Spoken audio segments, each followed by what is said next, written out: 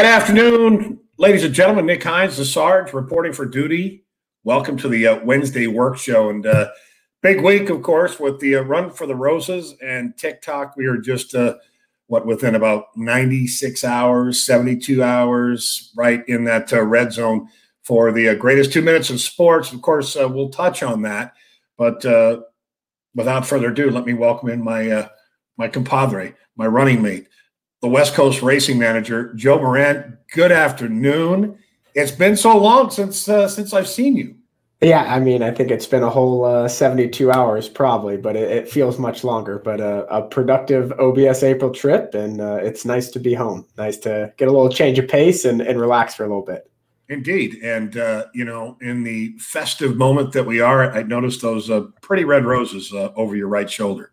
Yep, like we said, we got the run for the roses on Saturday, and I uh, can't wait. You know, looks to be, in my mind, I think it's going to be a very competitive uh, race this year. Obviously, essential quality is is the horse to beat, uh, but you never know when twenty horses line up in the starting gate together, and it's going to be an exciting one this year. I think. Yeah, it's crazy to think that authentic, you know, winning the Kentucky Derby in 2020 it's been essentially what just an eight month turnaround, yeah. and I had an opportunity to to touch uh, in an interview with both uh, Hall of Fame trainer Bob Baffert and Hall of Fame rider Johnny V. And you know we touched on the the Derby moment, but the shortest reigning Kentucky Derby winner uh, with authentic. So it, it, really does speak to being in the moment and, and relishing that. Uh, very, I still see in my mind you are chief Michael Behrens, Joe Mishak, uh, in unison jumping up and down in the grandstand there at uh, Churchill. Pretty awesome. Oh yeah, I know, I know, absolutely, and um, it's gonna be it's gonna be interesting to see people in the crowd this year. You know, I, I wish I could be there, uh, but uh, you know, it's a it's a new year, and hopefully next year we'll be out there in a full crowd. Absolutely. And hey, I want to remind you folks on Friday, we're going to welcome back on My Racehorse Live, the new and improved. You know, we've uh, essentially kind of upped our game, if you will. And a big salute going out to the uh, gals there at uh, Grand Slam, of course, uh, Hannah Bloom, uh, Molly, do such a wonderful job, and, and Shona. It, it's a crazy week, uh, Kentucky Derby, and all that jazz. And I know that many of you out there in my Racehorseville, you're excited. Uh, Stuart uh, Eddard, hello, sir, Albany, New York. Pleasure to have you on this Wednesday. Nick Hines, Joe Moran. Well, Joe, let's just jump right into the swing of things here and – and speaking of a moment in time, I want to congratulate uh, the newest graded stake winner on the uh, My Racehorse roster, uh, Tiz Magician, Tokyo. Here we come. Yeah, uh, a, much deserved victory. Uh, I mean, we had Gary Mandella a few weeks ago on the show uh, and talking about Tiz Magician. And you could tell in the, the tone of his voice, the confidence he had uh, in this horse, and said, you know, his day was coming soon and uh, we're going to take a look at this race here. And uh, we couldn't be more proud of him. He's a horse that's gone through so much with us from the trip to Dubai that unfortunately got canceled uh, in the start of COVID uh, in 2020 uh, to you know come back, have to kind of get his legs underneath him per se. And uh, now you could arguably say he's in the, the best form of his life. And who knows? I mean, let's hope he can just continue to improve from here. And you know, the sky's the limit.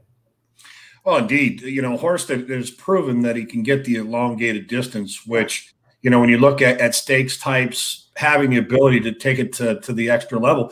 I mean, the point being is that you have a son of Tiz now who was able to get his first ever graded stakes victory. In fact, his first graded stakes placing came in a Tokyo City, a race that uh, was delayed until September of uh, last year. But, you know, once again, we have highlighted uh, Tiz Magician multiple times on our shows. And the one point that I would like to to make here for those that tune into these Wednesday work shows, we try and keep it real, if you will. And the one thing about Tiz Magician, a particular horse that ascended as he marched uh, toward the uh, the Tokyo City, because if you look at his work pattern uh, prior to the big victory here, as you see on April 18th, uh, he earned a 90 Beyer speed rating. Is that right, Joe? 95. 95. Wow. Yep. All right. Even higher than I had uh, expected, anticipated there. But so in the interim, coming out of the grade one Santa Anita handicap in which he encountered traffic trouble, he had four workouts. And we touched each week that uh, we came on with those works and, and, and how he had developed into. And as we heard from uh, Gary Mandella, assistant to his uh, father and Hall of Fame trainer Richard Mandella, confidence exuded uh, yeah. on the program here. And then, of course, uh, you enter in Flavien Prat. And we've often talked about the Prat effect, and it's plainly obvious that he fit this horse like a glove. Yeah, no, absolutely. And I, I thought one of the biggest keys to the race was Tiz Magician can be headstrong. Uh, and I've always liked to see him on the front end, but I thought, you know, one of the keys to the race was Flavien having such good hands like he does is when Zestful came alongside him and put the pressure on him, Flavien got off the rail, got outside, and put the pressure on Zestful. He was always in control, and and to me, that was the winning move from the get go. Yeah, tremendous win there, and uh, you know, for a horse who's had 16 lifetime starts, he's uh, had four victories, winning 25 percent of the time, 10 of which in the exacta with a bankroll now in excess of 280,000. A big uh, congratulations going out to uh, Team Spendthrift, our partner and Tiz Magician. Tiz Magician out of the Dixie Union mare, Magic Union, bred by the Woodford Thoroughbreds. And Woodford Thoroughbreds has been very good to us, um, essentially uh, helping lay up our horses there in Florida as well. They, they put on a nice uh, operation. Uh, props going out to uh, John Shannon, of course, and uh, Beth Bayer. So, what would be the next step for uh, Tiz Magician, Joe? Uh, that's a that is a great question. I, I, don't think a spot exactly has been decided you know, something that I've always talked with Gary Mandella with this horse, you know, previously in the previous months is, you know, could he be a horse that now that he truly proved that he appreciates that route of ground, could you go out of town? You have a race like the Brooklyn that's going a mile and a half. Uh, you could also stay home. You got the Gold Cup going a mile and a quarter. So there's plenty of options. Uh, the one thing I'll say is I was on site at the track the other day, saw him. You would have never thought he just uh, cruised to victory like that only uh, 10 days ago. Uh, he looked great. His energy was great. His weight was was looking great out of the race. Uh, so ultimately, you know, Hall of Fame trainer Richard Mandella will lead us in the right direction. We'll get him back on the work tab, and ultimately uh, that will dictate where we go. That's interesting when you look at the uh, the weight you mentioned. For example, ThoroManager they they offer up the opportunity to see the weights, and he actually yeah. put on one pound prior to the uh, Santa Anita handicap try. And you know he ranges anywhere from 1,165 to say 1,175, even at one point, 1,186 pounds. So um, weight is important, um, but fitness and happiness, I think, uh, above all. And I, I can tell you that personally, and, and Joe, you and I hung out quite a bit to their OBS. I think the object of life is to be happy, but also uh, keep it in perspective to kind of keep keep the motor running. Hundred percent. I can't right? agree more there. Yep. All right. Um, and okay, so we're gonna we're gonna move on. And yep. uh, once again, Tiz Magician, a chance that he potentially could take his show on the road to New York and or potentially stay right here in his own backyard with the uh, the Gold Cup, which we'll leave it up to the man, uh, of course, our Hall of Fame trainer. Uh, Richard Mandella. Just want to remind you Friday, the live show will be back. My Racehorse Live, the new and improved version. Of course, uh, you definitely need to get locked in, tuned in for it. It's an interactive show, as is this show. And, uh, you know, I, I, know that, Joe, we obviously wear our hearts on our sleeves here at, at My Racehorse. And as you and I both uh, became aware just a, few days ago in reference to uh, ancient royalty, I know that there will be a, a report that goes out. And uh, again, our condolences going out to those shareholders. Um, just a, a, difficult blow. And, yeah you know, again, we we just had an opportunity to pay visit there when uh, we spent some time in Ocala. So again, our condolences going out to those shareholders, and it's uh, the hardest part of the game. Yeah, no, I, absolutely. It's uh, kind of one of those things that you, you just don't believe was true. Like you said, you know, we saw him on on Friday, uh, and then to hear that news the other morning, uh, it's tough. It's the the hardest part of this game, and anytime you get involved with the racehorse, they I always say they become a family member to you, and it's it's just like losing, you know, a brother, son, or or, or child. So it's a it's a tough one. N- nothing you ever want to hear. Um, but you know, the one thing I can say with my racehorse and Tristan de Meric, he got the best care. They did everything they possibly could, uh, and that's the only thing that you could ever ask for. And uh, you know, it's a bummer, um, and it's uh, we'll, we'll miss him for sure. Yeah, I you know having been you know involved in the industry since birth, I, have seen it at all facets, and yeah it really you know, the fact that, that Ancient Royalty hadn't been given that chance, uh, obviously uh, going on to another place uh, in the sky. But again, our condolences going out to uh, each and every one of you out there. And, um, you know, again, our, our hearts are with you on behalf of all of us at uh, My Racehorse. All right, Joe, let's uh, let's turn the page here to a Carpe Venum. Loved her performance last out. And, and you know, she's another horse that you know, it's kind of a specialty item, right? I mean, here we have Tiz Magician who proves that the marathon uh, distance is of no consequence. She is uh, coming in off of a, a, uh, sharp third place effort in the uh, twice other than optional back on April 4th. She's returned since with two workouts. Uh, what's the latest uh, with Carpe Venum? Yeah, doing great. And, and, you know, I'll, I'll say her, to me, we've watched her train for quite some time now you know, ever since Phil has kind of trained, changed his tactics and and her way of training in the morning, I feel like she's been so much sharper in the morning. For example, this drill here you're looking at, she's in company. Now, granted, you'll see the exercise rider in the pink cap, you know, definitely was urging her on, but she's responding willingly. To me, that's what you want to see with this horse. She's not a horse that's going to have that change of gears. She's kind of more of that steady one paced horse. Uh, and to me, this was a stellar work. Uh, the horse that she's working with, I believe, is a East Coast shipper uh, that's in the barn for Phil D'Amato. Will be running for the first time for him. Uh, but uh, you know, Carpe, strong work. She galloped out strong. You'll see a, a time difference of you know four fifths of a second difference. But to me, uh, you know, I'm going to give the nod to to Carpe Venum in this work. Yeah, I would tend to agree. The fact that she showed uh, you kind of get the impression that maybe she was a target for Pythagorean in a yeah. sense that you know this is a horse coming off a maiden special weight victory at Aqueduct, but for me, I love seeing it because with, with Carpe, I think the idea, the object is trying to to maintain what speed she has. You know, she is tactical. She's not ultra quick as we've yeah. come to find, but uh, you know, I'm happy to you know be representing Jose Valdivia, and he's ridden her in back to back tries and he felt that she was able to give him not just one, two, but three different moves in that effort that we saw on April 4th. The biggest difficulty is the timing of the races. And we're kind of at the mercy of the condition book. And we're hoping that uh, we can get in a race uh, uh, sooner than later. So, as far as the workout, I, I call it a solid B, and, and maybe even would be willing to give it a B plus based on that final clocking and how she did it. Yeah, no, absolutely. I thought this was a, a very solid work for her, and I'm, I'm going to go all day long with a B there. So, what would be the next step for her, and is there a primary race target? Well, there is the uh, Grade Three Santa Barbara Stakes, which I believe is on May eighth. Uh, don't quote me, but I'm, I'm 99% sure it's May 8th, Saturday. Uh, mile and a half marathon distance race for fillies and mares on the turf. Kind of the ideal spot for her. She does still have that twice other than allowance condition. Uh, you know, unfortunately, we're not going to get that race written consistently at a mile and a quarter or in a mile and a half. So we kind of got to take uh, what's going to be her specialty in distance.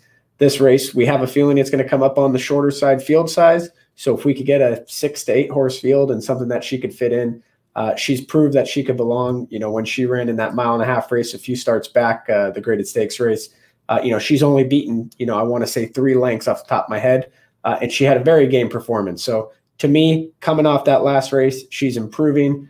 Arguably, again, you could say she's in maybe the top form of her career, really getting into the groove of things, and maybe going to run a career best here coming up. Oh, I think it's kind of kind of cool that uh, Altea, two races removed, coming out of the uh, the Astra, yep. uh, won the uh, stakes at, at, Golden Gate this past weekend, the uh, the Golden Poppy. So uh, congratulations again to uh, to my racehorse with the victory there, Altea, uh, Whitey, uh, Mike McCarthy doing a nice training job. So bottom line, she's kept good company in this mm-hmm. particular workout. She worked with a, a recent uh, winner. Uh, timing wise, having a race coming back in a shorter window, I think will only benefit her. So that's great news. And by the way, a big run from Social Dilemma, another my racehorse in partnership with Spendthrift with her effort yesterday at Churchill, coming up just a nose shy in that uh, allowance, entry level allowance for trainer Al Stall. So Social Dilemma, daughter of Medaglia d'Oro, knocking on that window and looking to earn that uh, first allowance conditions. Carpe Venum, liking what I'm saying. All right, uh, next up, um, what my producer and our producer Hannah Bloom uh, categorized as our well relaxed, run happy colt. Popular demand. He certainly is kind of a laid back character, isn't he, Joe? Yeah, you know, he's a horse that uh, if you go see him in the barn, he's usually relaxing after he gets done with his training. He ain't afraid to take his nap. Uh, assistant trainer Gary Mandella has sent us a few pictures of him napping in the morning. He's uh, quite the character. Uh, here we're going to see his uh, second gate work since coming off the layoff.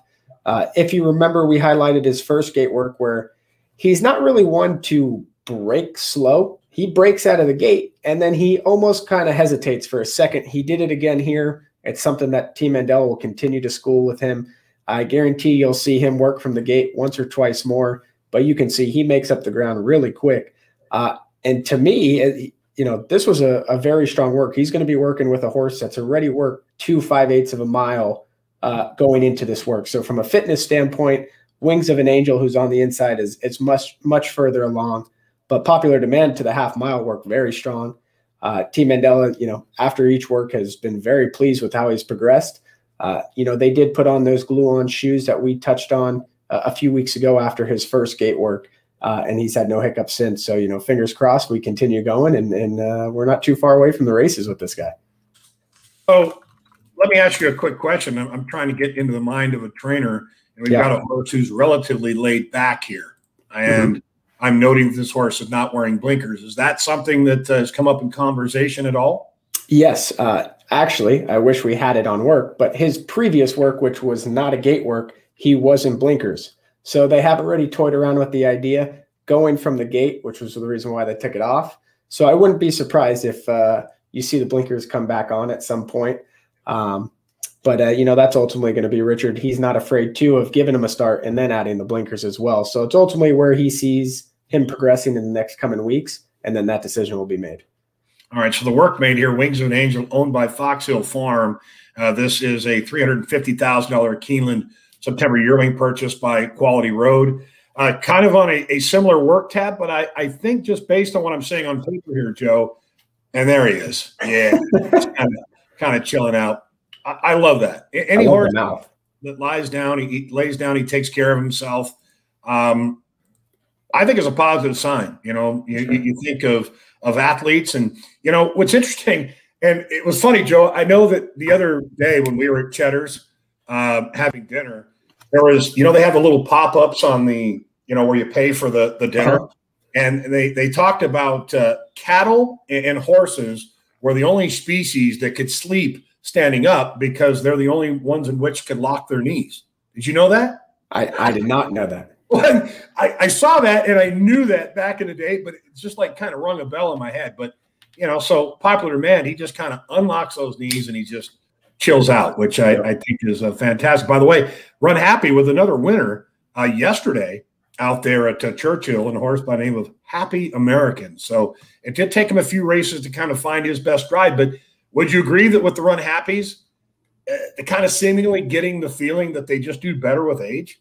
Yeah, no, absolutely. And uh, I know uh, Run Happy did make it as a two year old himself, but he was a horse that continuously got better into his three year old season. So, uh, so far, what we're seeing, I, I think you're going to see that. And, uh, you know, that $10,000 stud fee might uh, be getting uh, Mattress Mac a lot of business now that the, the offspring are, are doing pretty well.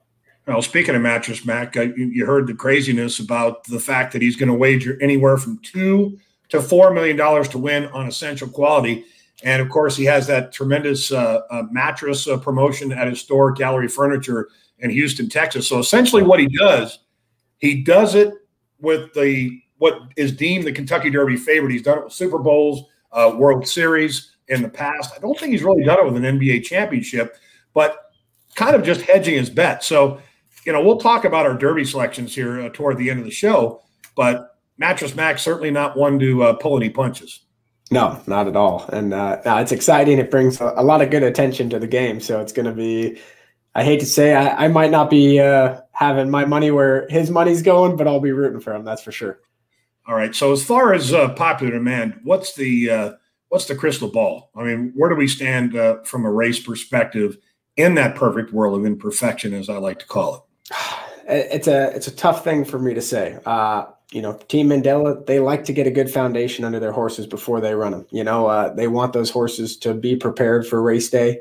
Uh, to this point, he's not had a five eighths of a mile work. This was his second or third half mile, sec, uh, first half mile since having that you know week break uh, after getting his shoes changed. So I still think we're at least probably four works away, uh, and you know maybe five, but uh, that's just me on on an educated guess there. And ultimately, I, I would say once he moves on to the five eighths of a mile drills, how his fitness progresses from there will ultimately decide that. All right, uh, good answer. You should run for office someday. Thanks. All right, moving, moving, on. Uh, popular demand looks great. Uh, solid B in my book, and I, I, think the horse he's working at with uh, Wings of an Angel certainly one that uh, you want to keep a close watch on for uh, Fox Hill. Um, all right, David Anthus has a question here. Can a horse still run if he is she five years old and hasn't broke its maiden? Ooh, this is a good one. It's tricky for California, right, Joe? Yes, California, I believe it's a new rule now. Once you hit five, if you've not started, you cannot, right? Correct. yes. And that's but newly implemented. If you have started, uh, you have to go through the whole, whole, protocol of getting off of a list, uh, which yeah. is deemed what would be like getting off a veterinarian's list if you've been out of racing 12 months and beyond. So um, let's put it this way, David. If we've got a horse that is still a maiden at five years of age, then chances are we probably want to think about uh, taking on a different profession because ultimately the mass majority of horses that we see in today's world in this century um, in this decade if you will things have changed immensely because there was a time maybe 15 years ago that if you saw a four-year-old first time starter, you wouldn't be bashful to play but the reality is in today's light um, you know people tend to frown upon horses that hey if they can't get it done early it's much like the apollo curse you, you go back to justify he was the horse that defied the whole logic. And hey, you didn't start as a two year old, you're not winning the Derby. Well, the horse that many are looking at uh, this Saturday would be Rock Your World. Is that right? Because he broke his, didn't he not break his maiden on June, January 1st? I'm gonna have to look it up because I, I don't know if it's January 1st. It might have been right before. Let's see. It was January 1st. I can confirm that. Ah, you got a good one. So all right. So thank you, David. And uh, once again, uh, interactive show here. Feel free to post up your questions. And uh, yeah, Donna, we're just excited. It's Derby week. Um, you know, we're just trying to take in the last swallows of authentic being the uh, Kentucky Derby champ because after this Saturday, there's going to be a new champion. So um, we're, we're happy. We're just happy to be here. It's a blessing. All right. Let, let's move on to the next horse, and that would be staying in line with the West Coast above suspicion honor code filly in the uh, Papa Mandella barn. What's the latest here? Wow. Uh, you're going to see her. She's in the middle of this trio, and I've been uh, personally very impressed with this horse. Um, from seeing her at the farm, uh, she's been a horse that, you know, big, scopy filly that appears that she's going to want to run two turns let me tell you, when she's gotten to the track, her her mind's on running, and, and she's all about business. I mean, she could have won a, a, half mile here. She was tugging along at the rider, Austin Solis, in the middle of horses here. She gallops out very strong. I think we got to be super excited uh, with how she's progressed so far since coming in. only two quarter of a mile works, but she's moving right along. Okay, so uh, Joe, I'm just going to ask you a quick favor because you, are crackling up on me a little bit here. Uh, maybe pop in and pop out your, your headphones there and I'm going to have test, you repeat. Test. Okay, go ahead. Test, test. Can you hear me now?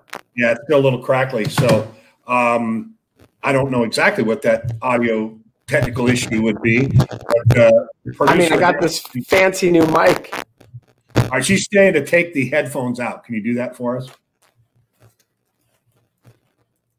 All right. Can you hear me? Still can hear you. Is it still crackly? Yeah. How about this? So what we might do is is have you come in and come out. Um, I would hate to. Uh, we got to carry on with the show here, so uh, let's go ahead and plug you back in. Let's give it a moment here. So above suspicion, uh, this progeny of uh, honor code have to love the uh, the current state that she's in for uh, Papa Mandella, and hopefully we'll get Joe back on board here. She has uh, had two recorded workouts, including April 18th, April 23rd, out of the mare exonerated, akin to uh, Sky Diamonds, who is a multiple graded stakes winner. In fact, uh, campaigned by Bloom Racing. And I know there's a smile on Hannah somewhere out there, but uh, certainly enough reason to believe that above suspicion, the horse might have some precocity in her favor. Okay, Joe, uh, tell us about this workout. Okay, can you hear me clear? Got you loud and clear, brother. Okay, perfect. Uh, so what I was attempting to say earlier uh, was, you know, and you kind of hit the nail right on the head was, you know, I've been super impressed since she's hit the barn of trainer Richard Mandella. Being able to see her at King's Equine with Raul Reyes, she always appeared that she was going to be a later developing two turn type of horse. She has a lot of scope, size to her. But since she's come to trainer Richard Mandella's barn, she's had her mind on uh, on running. She's very forward in her training, and, and, as I was saying, you'll see Austin Solis in the middle of the exercise rider, son of uh, Alex Solis. He's got his hands in tight on a what I'll call a stranglehold. You know, this horse wants to do a lot more than she's being allowed. Uh, from a fitness standpoint, you could probably tell she's uh, a little further along than a quarter mile uh, fit. Uh, this was her second work, so I, you'll see her go on to three eighths next week, most likely. Uh, but a strong gallop out, still being very resistant doing this, and uh, I think we got to be very happy. And I would say that, as you mentioned, precocity is definitely, I would say, a good word for her. Yeah, it is interesting because when you, you consider the the honor code offspring, yeah. they're not generally as good as two year olds as they are as horses that evolve into their, their three year old year. But uh, of course, the, the sibling, as mentioned, uh, Sky Diamonds, broker maiden in career start number two back in 2015. She was a daughter of First Dude, had a career that saw her earning in excess of 690,000. So she's kind of buzzing right along. And I mentioned the fact that she had had two recorded workouts. So what would be the next step for her? Would she uh, graduate onto a three furlong drill? Yes, that's generally, uh, I don't want to speak for Team Mandella, and I, I, don't have a confirmed answer, but most likely she'll move on to a three eighths of a mile drill next next week. You'll see a lot of her works come in the early stages in companies. So when these horses come from the farm, even though they do work in company, trainer Richard Mandella likes to put them in different, uh, you know, scenarios, whether it's three horses, two horses, and really just get them acclimated to a whole a whole bunch of situations. Uh, so next week, I, I think you'll see her go three eighths in company as far as uh, gate uh, gate work, have we done much gate work with her as far as walkthroughs? Yes, they do walkthroughs. They do schooling quite often. I don't know how often she'll do uh, or how soon she'll have an official gate work, but I don't think it'll be too far away. But I think you'll see her get a couple three eights under her before that actually happens. Uh, and Nick, I see Cash is, is giving you a little shout out here, so love to see that he's tuning in. Uh, it's been a while since I've seen Cash, so I hope you're doing well, Cash. You probably wouldn't recognize him. He's 10 foot tall and bulletproof, but Cash has got a big game tonight. Uh, his team uh, will be taking on uh, taking the field here in about an hour, so look forward to that. But uh, love the fact that you know we've got fans and family fans, yep. of course, the family. But uh, sh- shout out to Cash, Michelle, of course, my father-in-law Bruce, who are tuned in, and still can't convince. Bruce to invest, but he's close. He's close. Yeah, the last thing you want to do is miss out on another opportunity like Authentic because it's just around the corner. But uh, certainly an exciting time with all the two-year-old training sales. There'll be uh, ample opportunity for those folks uh, to get on board. Some nice prospects going forward. Susan Ward, she alluded to the fact that uh, honor code Seattle Slew top of her list, and it's so true, Susan, because you know we look at horses to acquisition and sales you know, we certainly do our homework and, and we look for, uh, you know, whether it be a nick, a certain pedigree that worked, but uh, the true rich blood. I mean, at the recent sale at OBS, seeing Mr. Prospector in just the second, third generation of a horse, uh, you and I had that conversation. Joe, unfortunately, weren't able to get that particular horse, but um, you know, pedigree is is so ultra important. But as pertains to this work show and how horse develops, so for me, would you agree that above suspicion is further along than what we'd anticipate at this stage of the game? Uh, one, no doubt, one hundred percent. So let's you know, fingers crossed, knock on wood, it just keeps going that direction. And uh, you know, look at Honor AP for example. He was a horse that you know did debut. I want to say end of summer of his two-year-old season. Uh, so it is possible, and and though their pedigrees can you know uh, preclude to them being later developing horses, uh, it's all about their mind, their physical ability, and how they come along. And uh, some horses can do it, some can't. But she looks like one that definitely can't do it.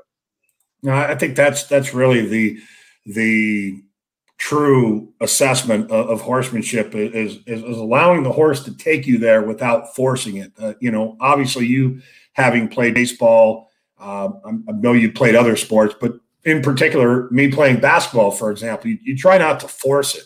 You know, you kind of you know you have to have some sort of a, a strategy uh, but at the same time you have to let the horse tell you what their their next step is going to be and it's it's it really is common sense there's there's no math to it but uh, i can't tell you how much i appreciate the patience applied by uh, papa Mandella. i mean he does truly handle these horses as if they are his and i think that's important hands down. Uh, I, I, was having a phone call with a, a client uh, not too long ago, and I was uh, talking about that. And for example, and you know, horses like Lane Way, Tizamagician, and he is a trainer that you've seen years after years, and I'm sure you saw him uh, way back when, before I was even you know truly involved in this game, where he has such a way, and he is so attention detailed and detail orientated. Uh, that he keeps these horses so sound for so long. He keeps them so sharp uh, and you know, just like humans, I, I'll say like an athlete, when you're in that constant grind and, and practicing every day, eventually you need a break. You need to get that refreshment. And he has such a way to move these horses in and out. He uses uh, Julie Stack, who's done a lot of great work for us, or even he just gives a horse a quick three, four weeks off where they should jog. They don't miss, lose too much fitness, and they're able to come right back. And, and we don't really miss much time, and it does uh, a world of wonders for the horses and, and, stuff like that goes a long way with these animals. No, absolutely. I uh, again, a big thank you uh, to Richard Mandella's son Gary. They've been so interactive in, in, providing updates, which you know this this is all part of a process. You know, it, right. again for the experience for the shareholder, it's important knowing where your investment lies. Where, where, where does your horse stand, and what's my horse doing right now? What's my racehorse up to? I think that's really the bottom line. Amanda, uh, she says, when looking at a horse for the first time in the saddling paddock or on the track, how does a beginner who doesn't know what to look for for when they are looking at a confirmation for a race? All right, so that's kind of a kind of a loaded question because conf- conformation for me with a horse that's running for the first time, I don't put a whole lot of credence into it. But I will say this: uh, Amanda, if you are looking at a horse that is a bit more upright through the pastern, when you look at the pastern bone down to the foot, my experience is those horses generally will show more speed.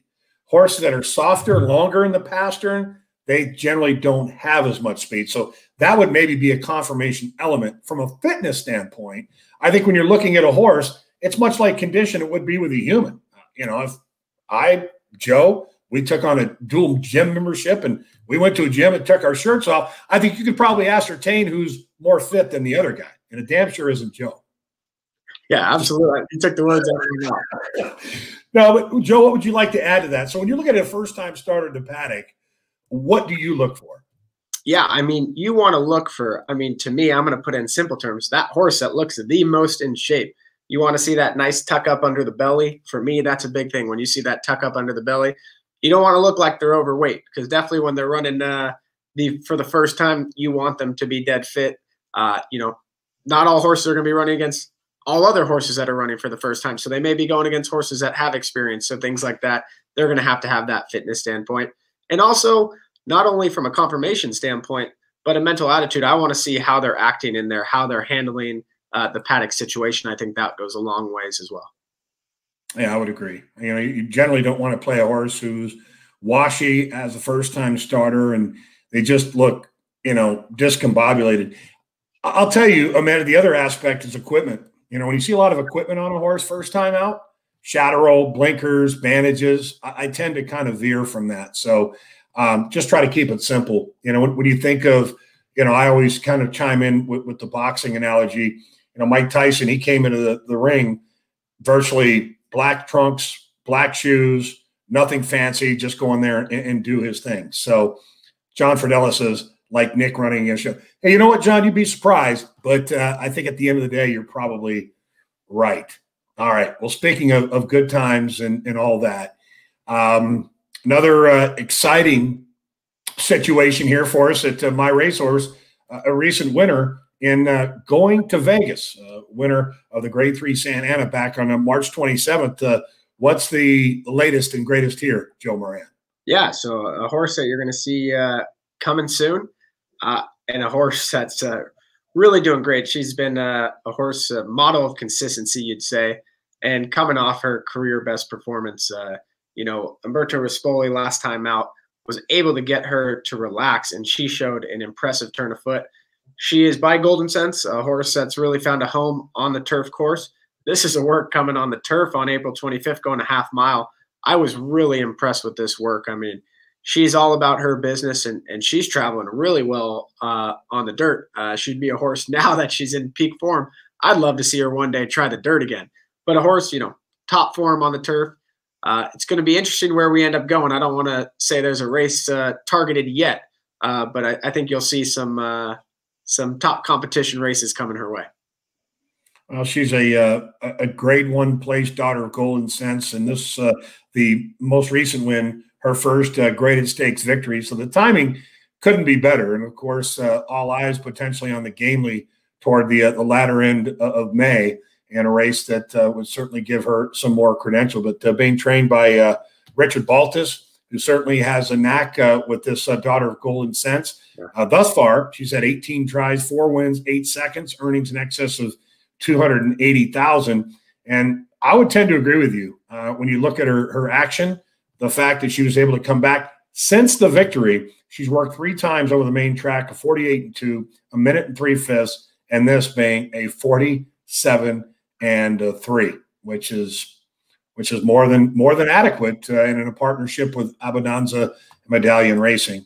And um, I think she certainly looks good in this drill. By the way, above suspicion, I give her a, a, a strong B in that move. What about you, Joe? Yeah, yeah, no, absolutely. I, if it was a little further than a quarter of a mile, I'd probably even go a B plus. But uh, ultra impressed, and uh, you know she's doing everything right. All right, and uh, with with going to Vegas, so so keep an eye on the prize there at myracehorse.com for those uh, updates uh, and offerings. Certainly, looking forward to what uh, her next step may be. All right, I know that we've got some questions coming in. We've got a, a few minutes here before we uh, sign off, and it's a a blinker question. So Mara, Mara is a uh, a weekly viewer. By the way, at some point, I, I would like to have like a, a giveaway for some my racehorse swag. I'm not sure how we're going to do a contest, but I'm thinking that uh, we'll put our heads together with our uh, producer and directing here in Hannah Bloom. What criteria is used to determine when to try blinkers with a horse? Joe, you can answer that. Okay. Um, I'm going to say it's a little bit of a loaded question as well, just like a lot of things in this game. Uh, and there's different variables. Uh, first off, the most imp- the first thing that uh, comes to my mind is if a horse is naturally looking around, right? If a horse is not focused on the task ahead of him, natural reaction is for an exercise rider to come back, say, you know, I think this horse will benefit from blinkers. You have different cups and variations of blinkers that are going to restrict uh, certain amounts of vision. Uh, you know, full cups that are going to restrict the most vision, quarter cups, half cups, semi cups. Uh, there's all different types, uh, but ultimately the biggest thing is to get their focus there. Now you have a situation like Nick brought up where a horse like Popular Demand, right? He not quite not wanting to break, but he didn't quite accelerate out of the gate. So what could get him to maybe fire out of the gate? Blinkers could be an option. It could just be as simple as more work from the gate, and he'll he'll figure it out. Right? Some some horses are going to be uh, longer learners, but but all those type of criteria is going to go into that. And Nick, if you got anything else to add? Yeah, I, I think uh, you know obviously when you think blinkers, focus is number one. Yep. Uh, speed is number two. Yep. Um, and I, I, think those are the two primary objectives. Uh, you know, but there are some horses that uh, tend to get more comfortable with blinkers. And, and, sometimes, Mara, you'll see what, what are deemed Pelling pacifiers. There's actually a screen being placed over the, uh, the horse's eyes, much like what you would see with this microphone here. Um, so it gives the horse the impression of being protected, uh, almost essentially being behind a fence line as far as their vision is concerned. In Australia, for example, they would use those Pelling pacifiers for example, when they would get clods of turf that would come back and hit them in the eyes, essentially would help to break it up. But they, they came to find that with certain horses, once you put those on, it calmed it calmed them. So uh, from time to time, you'll actually see those. In addition to the fact that certain horses, when you put blinkers on, it will settle them. And it's ironic that in, in the quarter horse world, there have been a multitude of horses that actually performed better without blinkers and showed more speed than with blinkers because it essentially dulled their speed. But as a handicapper, I can tell you, Mara, um, two things uh, blinkers on, blinkers off with fillies or mares. You can make plenty of money when you see that blinker move. For whatever reason, it seems to work. And even geldings, not so much with colts, but geldings blinkers off. I absolutely love that move. Horses generally will show more speed without them once they've had them for a prolonged period. So it's it's a great question. Like you said, it's loaded. I mean, there's so many uh, avenues and variables to that. Yeah. All right, Joe. Well, go ahead. I was going to say, I thought you brought up a, a very interesting point. How the blinkers, you know, because for me, first thing, and I'd say a lot of people, the first thing you think putting on blinkers is is it's going to get speed, get them to be more on their toes, right? And for you to say, you know, it settles some horses, and it makes you really think about some things like when you're out there in the morning you see horses even jogging with blinkers on, and you say the horse is just going out to to jog. Why would the horse have blinkers on, right? right. But some older horses, that's that's their kind of routine uh, and their comfort, you know, per se. All right. Well, to, ladies and gentlemen, we're going to close out this show, and with the the Kentucky Derby coming up uh, this Saturday, want to remind you the uh, the new improved My Racehorse live airing this Friday at uh, 11 Pacific, uh, AM, 2 p.m. for those out there in the East, 1 Central. And of course, uh, Kentucky Derby Day comes Saturday. Greatest two minutes in sports. Joe, who's your pick? Uh, I'm going to be a, a, hometown boy, and I'm going for Rock Your World, uh, a horse I, I think can handle the distance with ease. Uh, and uh, I think he's going to be a, a major factor on Saturday. That's interesting when you consider the fact that he did break his maiden on the uh, the first day of, of, January. So we'll try and become the second yeah. to have not raced as a two year old uh, since, of course, Apollo and then Justify, who was able to uh, debunk that and going on to win the Triple Crown. So Rock Your World being ridden by uh, Joel Rosario should be an exciting race. I am going with uh, Essential Quality, uh, trying to become the third uh, two year old champion crowned, unbeaten, along the likes of Seattle Slew, Nyquist. Essential Quality, I think, has done pretty much anything and everything. He's handled it off track. Uh, he's proven that he can rate. He's proven that he can uh, attend the pace when needed. So he can adjust his sails. And what a, a tremendous tribute it would be for that uh, Godolphin homebred trained by Brad Cox, who could have a, a huge uh, weekend. Well, I want to thank everyone out there Judy included, and all of you out there in the uh, land of uh, my racehorse. We certainly appreciate tuning into these work shows. Uh, it wouldn't be the same without you. I can guarantee you that. See money, hoorah. Joe, until next time, brother. We'll see you in the winter circle. See you soon.